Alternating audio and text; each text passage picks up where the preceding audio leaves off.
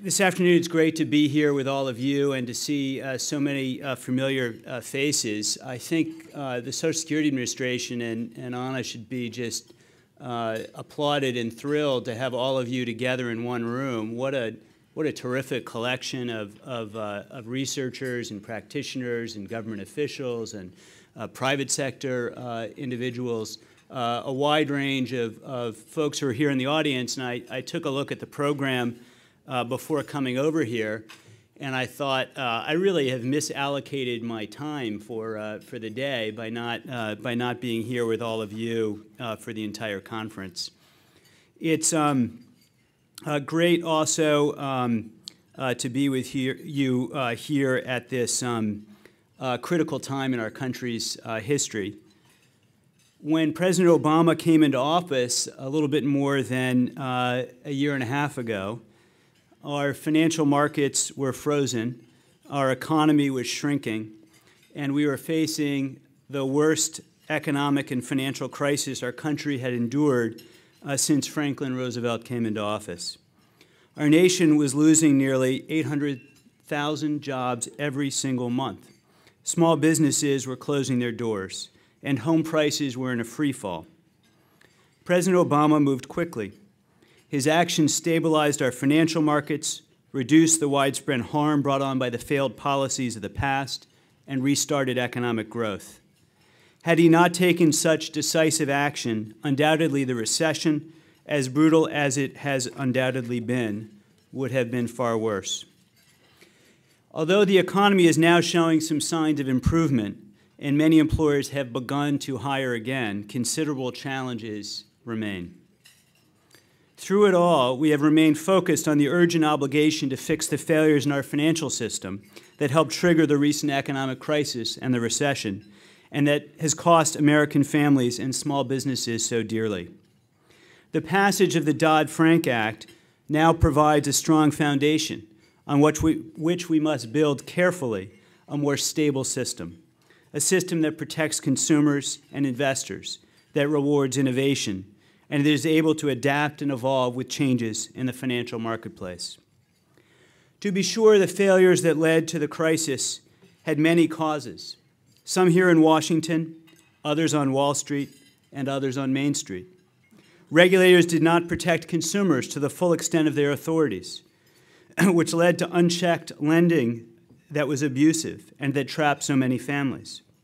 Firms and investors took on risks that they did not fully understand and legal loopholes and regulatory gaps allowed large parts of our financial industry to operate without oversight, without transparency, and without restraint. Many Americans took on more debt than they could afford, and many firms encouraged them to do just that. And for the one in seven Americans who live in poverty, or the millions of Americans who live in fear of falling out of the middle class, these times have been particularly devastating.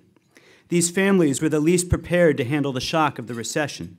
They had little or no savings to fall back on, and stood one medical emergency or one major unexpected car malfunction away from a personal economic crisis. When the crisis hit, families found themselves over-leveraged and under-resourced.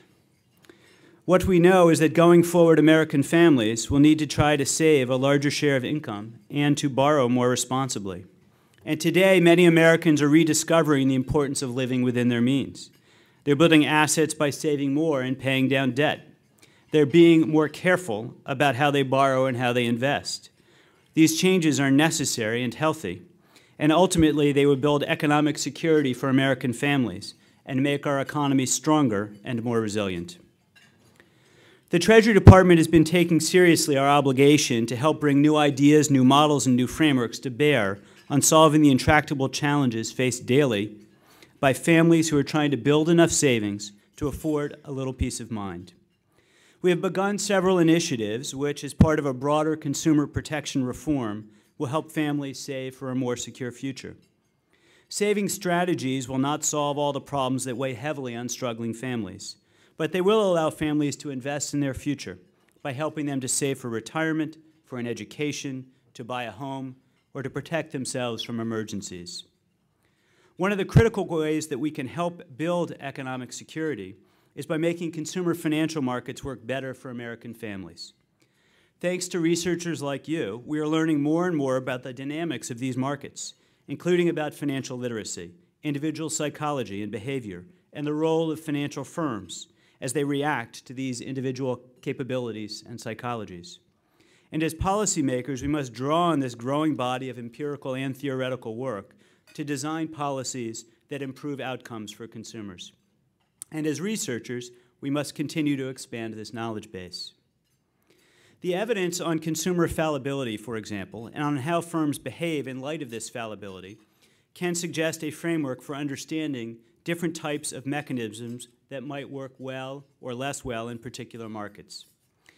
It is for helpful, for example, to divide consumer financial markets into two broad categories those where firms are neutral towards or have incentives for overcoming consumer fallibility, and those where firms have incentives to exacerbate consumer biases. For example, providers of bank accounts have incentives to help individuals overcome the behavioral, some behavioral barriers to savings. Lenders, on the other hand, often have incentives to exploit biases that lead consumers to overborrow. And providers of all kinds have incentives to charge fees that are less salient for consumers or that take advantage of consumers' errors in predicting their own future product usage, such as late fees, over the limit fees, and overdraft fees. The implications for policymaking in each of these cases are different. It is also helpful to think about potential market interventions as falling into two kinds of categories changing the rules of the game and changing the scoring. Changing the rules means changing what market participants must do or are allowed to do, while changing the scoring means changing the incentives, costs, or benefits of market participants to choose one practice over another. Now, interventions that change the rules and change the scoring can be useful in both types of market contexts. The scenarios where firms have incentives to overcome or to exploit consumer fallibility. However, the two scenarios may require different approaches. In the scenario where firms are neutral to or have incentives to overcome consumer biases, rule changing may be highly effective on its own. The success in promoting retirement savings through the use of smart defaults is obviously a well-known example. And in this case, employers become at worst indifferent and at best inclined to increase employee participation in defined contribution plans. In cases where firms have incentives to exacerbate biases, changing the rules may not be enough. In these cases, firms may have strong incentives to work around the rules and to render them far less effective. For example, firms may comply with the letter of disclosure laws, but act to undermine them by discouraging consumers from focusing on and understanding their content. And in such cases, it may be necessary to change the way the game is scored, to change the basic incentives in the system to make a real difference for consumers. This framework has profound implications as we think about how to best promote financial access. Defaults, for example, in the defined contribution plan world serve as a prominent example of how behaviorally informed innovation can have a significant impact on the lives of everyday Americans. But there's a need for a lot more innovation that is informed by the interplay between consumer psychologies and firm incentives in market-specific contexts. Taking a step back, there are three primary ways to improve consumer financial outcomes for American families. First, enhancing individuals' financial literacy and capabilities. Second, promoting access that meets consumer needs. And third, establishing strong protections for consumers. Basic financial literacy is the necessary foundation for informed consumer decision making. But to be effective, financial literacy must be combined with improved access to suitable financial products and strong consumer protections. In essence, a new play on the old fashioned three legged stool. And importantly, efforts in all three areas must be driven, driven by well considered evidence on how consumers and firms behave in the real world. Let me first turn to financial literacy. The administration has been committed to promoting strong evidence based financial literacy efforts that help level the playing field for consumers and promote better consumer decision making. The Treasury Department, in conjunction with the Financial Literacy and Education Commission, is currently working on two initiatives related to financial capability. First, the development and implementation of a national strategy for financial literacy. And second, the dissemination of widely agreed to core financial competencies. The strategy, which was created through a process that included a broad range of stakeholders, will set strategic direction for policy, education, practice, research, and coordination in the financial literacy and education field. The development of core competencies, which is another goal of the strategy, is particularly important in establishing a baseline for financial literacy. This is crucial for both individuals and for providers of financial education. Establishing a baseline by which program success is measured will help address the current lack of consistency in financial literacy programs. And we're hoping to make these core competencies user-friendly and accessible to the public. We'll also be working closely with the President's Advisory Council on Financial Capability. The President has appointed a highly qualified group of men and women from the private and nonprofit sectors to advise us on how to maximize effectiveness of existing efforts and to identify new approaches. In addition to promoting financial literacy, it is also critical to expand financial access and establish strong consumer protection. In particular, I want to talk about how behavioral insights can help inform efforts in these two areas. Research, including by many individuals in this room, has shown that consumers have predictable psychological and behavioral biases that may lead them to make suboptimal financial decisions. And financial firms can and regularly do exploit these biases, sometimes in ways that help consumers, and sometimes, and perhaps too often, in ways that harm them. The persistence of these consumer biases and a firm usage of these mistakes creates the need for mechanisms to overcome them. Now, one area where more innovation is sorely needed is in expanding access to financial services that meet the needs of low and moderate income Americans. A growing body of research has revealed that the financial access gap in our country is sizable. The FDIC has estimated that 9 million American households are unbanked, and another 21 million are underbanked, meaning they have a checking or savings account but are not well served by these accounts and rely on costly alternative financial services. One challenge we face in expanding access to financial access, excuse me, access to financial services for low and moderate income Americans is promoting savings and the use of low-cost electronic payment mechanisms such as debit cards. Defaults or changing the rules may help in this context because the providers of savings and transactions accounts have incentives to alleviate consumer biases, for example, with respect to procrastination, in order to gather deposits. However, defaults may be less effective on their own in this market, um, as they are in the retirement context, because the cost to serve individuals with very small balances and low incomes can discourage firms from serving this population. In this context, a combined approach may be needed. It may be necessary to change the scoring as well as the rules, such as by designing creative solutions to help firms serve these populations with sustainable products.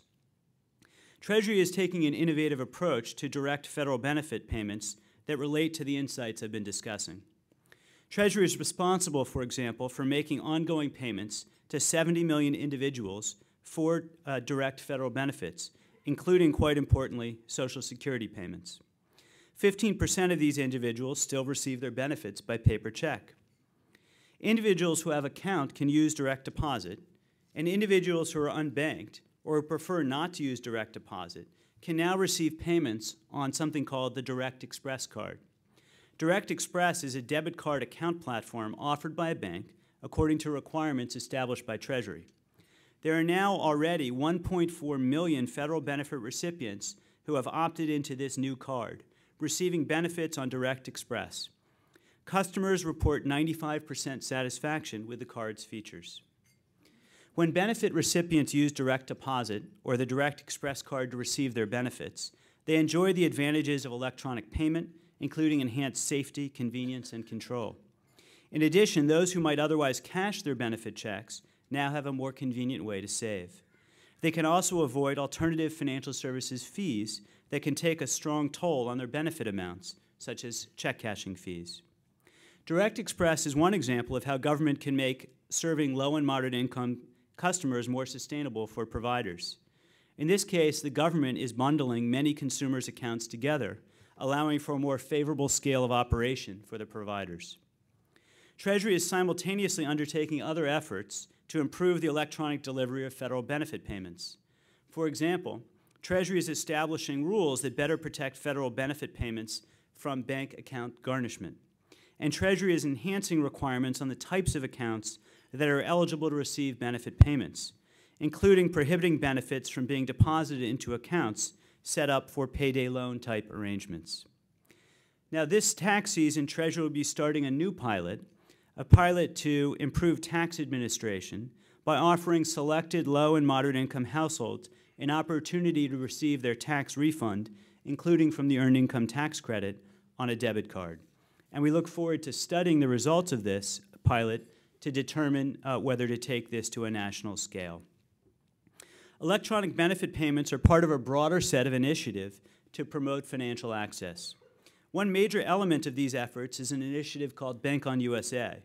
The President has requested $50 million in the next year's budget to launch a national initiative built on local bank on movements, made up of local coalitions dedicated to promoting access to financial products. Our goal is to support and enhance and improve these local efforts, as well as to promote innovation that will expand access to appropriate affordable products that better meet consumers' needs. So we need to educate consumers and we need to improve access, but we also need consumer protection. In an environment of weak and ineffective regulation, the tendency of some in the consumer financial markets to end up in races to the bottom, as we saw in the housing market, are not likely to be overcome solely by an educated consumer or improved access. The Credit Card Act, which President Obama championed and then signed into law in May 2009, is an example of regulation written for a market and a product in which many providers had strong incentives to usher consumers into suboptimal choices, to rack up lots of late fees, and to make only the minimum payment each month. Last year, nearly 80% of American families had a credit card, and 44% of those families carried a balance on their cards, Americans were paying roughly 15 billion annually in penalty fees. The CARD Act was well-crafted legislation that combined a requirement of common sense disclosure with new protections from practices designed to make use of consumer fallibility for the benefit of the credit card issuer and frankly to the detriment of the consumer. For example, the Act banned unfair rate increases, including rate increases on existing balances due to universal default clauses, and severely restricted retroactive rate increases due to late payment. It banned unfair fee traps, including weekend due dates or due dates that changed each month, or payment deadlines in the middle of the day. And it ended the confusing and unfair practice of so-called double-cycle billing. The CARD Act also used a debiasing approach by requiring minimum balance warnings that help to inform consumers of the consequences of their actions by displaying how long it would take to pay off an existing balance if the consumer paid only the minimum payment each month, and the amount the consumer would need to pay each period to pay off the balance in 36 months. Credit card companies know that the impact of compound interest on credit balances is not necessarily intuitive to most consumers. The consumer may even incorrectly assume that the credit card issuer has a primary interest in the consumer paying down the balance sooner rather than later, and therefore has set the minimum payment to an amount in line with that objective. So imagine the shock that a consumer has when he or she learns that making a minimum payment of $150 each month on a $7,000 credit card balance would take 22 years to pay off in full. Or the relief of learning on that same page that an extra $60 payment each month would reduce the time it took to pay off that balance from 22 years to three years, and save more than 5000 in interest payments along the way. That's meaningful disclosure. That's disclosure that empowers families to make choices that are right for themselves and their families. And that's what we need to do wherever we can for consumer financial products. Now, the creation of the Consumer Financial Protection Bureau has provided us with a historic opportunity to build on a successful regulatory structure for consumer protection, one that is designed to promote financial inclusion preserve consumer choice, and provide for more efficient and innovative markets for consumer financial products. Markets that operate on a competitive basis of price and quality rather than on hidden fees. Before Dodd-Frank, our system was largely incapable of supporting a regulatory structure that would be successful for consumer protection. Fragmentation of rule writing, supervision, and enforcement made it impossible to create a comprehensive and well-calibrated consumer regulatory regime. Jurisdiction and authority for consumer protection was spread over many federal agencies, which had higher priorities than protecting consumers. And banks could choose the least restrictive supervisor among several different banking agencies. A large number of non-bank providers escaped any meaningful supervision completely. The new Bureau will provide, for the first time, a consumer agency with mission focus, market-wide coverage, and consolidated authority. It will be an agency that focuses not simply on more regulation, but smarter, more coherent, and more effective regulation. Regulation that is designed and implemented with an understanding and respect of classical models, but is not blind to the compelling insights into consumer decisions derived from behavioral economics. Regulation that seeks to balance a consumer's ability to find the most suitable financial products from among many seemingly indistinguishable choices on the one hand, and a product provider's incentives to hide that uh, most suitable choice on the other. I have to admit, what I find most curious about the voices of opposition to the Consumer Financial Protection Bureau, an agency I remind you whose primary principles are transparency, fairness, and access, is that their logic rests on the premise that empowering consumers is somehow antithetical to free markets. They appear to be stuck in a debate that presumes that regulation and efficient and innovative markets are at odds. In fact, the opposite is true. Markets rely on good faith and on trust and fair dealing. Markets require transparency that reflects economic reality, rather than distortions caused by misleading sales pitches or hidden traps. And the discipline of the market requires clear rules. At the Treasury, we have been working hard on the creation of this new bureau. We are determining how to consolidate core authorities that are currently spread across several agencies. We are working to ensure fairness and transparency for mortgages, credit cards, and other consumer financial products. We are taking a hard look at the large non-bank providers of other consumer financial services, such as credit bureaus and debt collectors. We are planning for the provision of consumer assistance in education nationwide including financial literacy programs, online resources, and consumer complaint hotlines. We are working to establish the offices that will protect our military families and seniors that will exist within the new Bureau. In sum, we are launching the Consumer Financial Protection Bureau in order to protect and empower American families. Now, we appreciate the work that so many of you are doing to improve financial literacy and financial capability. I think together, the work in this room demonstrates that we can help work together to prevent another financial crisis, to rebuild our economy, and to do so on a stronger, more balanced foundation. I want to thank you all for the opportunity to speak with you today. You really are all amazing, and I look forward to working together with you to build a stronger America. An America where working hard and playing by the rules means security for our family, and hope for our future, where firms compete based on price and on quality, not on tricks or traps, where old-fashioned values of thrift are rewarded, and where once again our country is strong. Thank you very much.